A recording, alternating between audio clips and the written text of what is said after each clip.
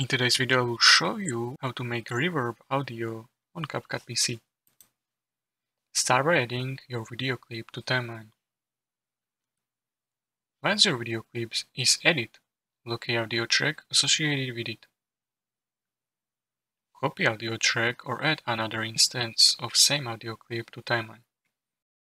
You can do this by right-clicking on the audio track and selecting Copy, move additional audio tracks slightly to the right of original audio track to create delay effect. This will simulate echo or reverb effect.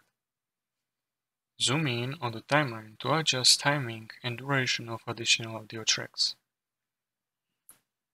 Space out additional audio tracks at intervals that create desired echo or reverb effect. You can experiment with spacing to achieve different results. Now, playback your video to preview reverse effect with edit, echo or reverb. Adjust positioning and timing of additional audio tracks as needed to fine-tune effect until you achieve desired results.